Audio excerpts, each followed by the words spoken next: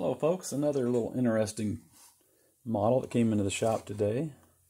This is from a company called Microcosm, and they call this the P70 Mini Impeller Pump.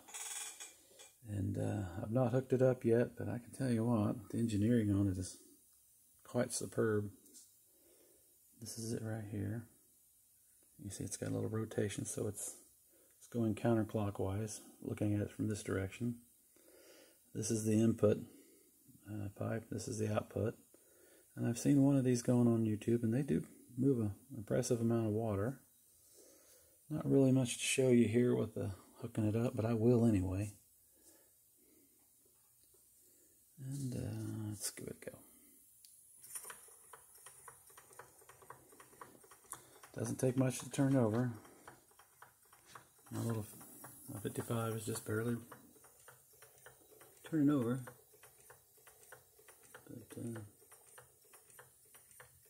Quite a neat piece of kit. I'll find something to hook it up with. And use it in some application. Thinking a fountain of some sort. And we'll find out. Thanks for looking, folks.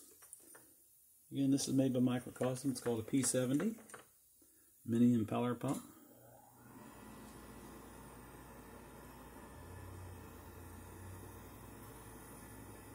And there you have it. Thanks for looking. Bye now.